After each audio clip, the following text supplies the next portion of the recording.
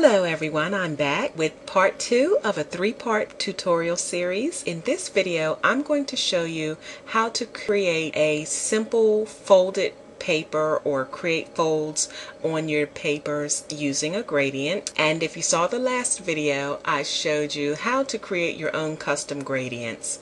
So following along in that theme I'm going to show you now how to create a custom gradient and use it to create a fold or multiple folds whichever you prefer so let's get started the first thing I'm going to do is go to my gradient tool which you'll find here Again, that's underneath the paint bucket or the flood fill tool.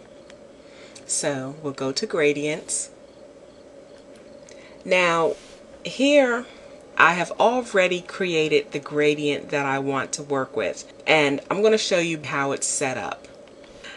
We have one, two, three, four folds. As you can see, they're pretty evenly spaced. Now, the thing with this gradient and the folds is that we're going to have concave and convex folds. So what that means is that if you look here at the very first fold, we have the black to the left and the white to the right. And that creates a concave, meaning that it's folded inwards. And if you come over here to the next fold, you'll see that it's convex, meaning that the point or the fold is facing outward. We have our white to the left and the black to the right and so on and so on. I've created a couple of different gradients and I'm going to quickly show them to you. Now we have just one single fold. And remember, if you want it to fold inwards, you want your white to the right. If you want it to fold outwards, you're going to go ahead and put the white to the left.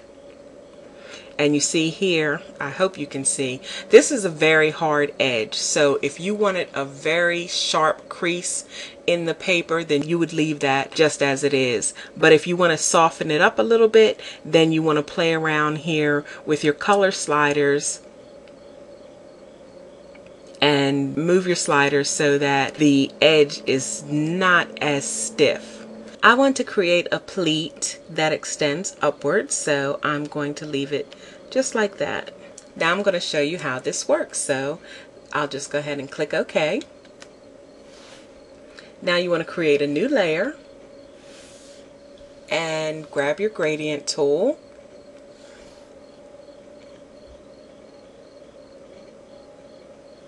and now you can see that I've created the fold and now all I have to do is change the blending mode. And depending on the color of your paper is going to depend on which blending mode you choose. You could use overlay maybe multiply uh, more than likely soft light. And then you can adjust it to your liking now, you can see that this line is not perfectly straight, and that's because when I drew my gradient, I was not perfectly straight. So if you want to have that perfectly straight, then when you're drawing your line, be sure to hold down your shift key as you're going from right to left, and your line will be perfectly straight. And you can go ahead and set that to soft light. And there you have your fold. So what you could do is duplicate this layer, and maybe you just want two pleats and you can slide that wherever you want it. If you wanted to fold it two times you could do that. Or if you wanted to you could inverse that.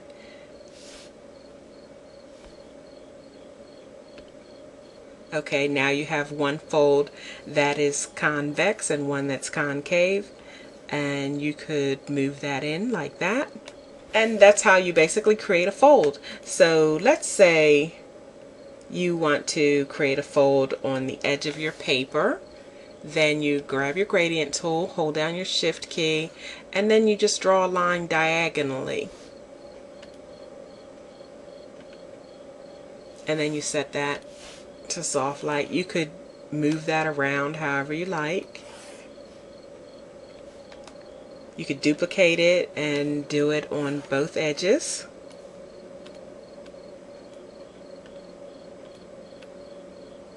how you create a very simple fold. And now we're going to create multiple folds. And here we're going to go back to our gradients. And this time we're going to select this gradient. Click OK. Now we'll create a new layer. Hold down the Shift key, draw from right to left. And now you can see what I was talking about. You have accordion folds. One fold goes in, the next goes out, in, out, and now we'll just go over here and set our blend mode to soft light.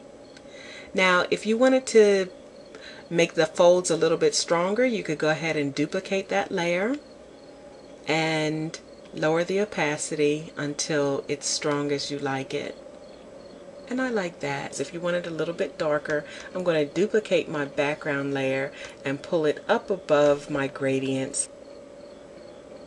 And then that just brings in a little more depth. And I'm going to flatten this layer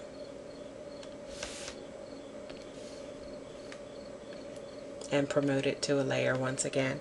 And there you have it. That's how you create a pleated fold using gradients. And I hope you've enjoyed this tutorial.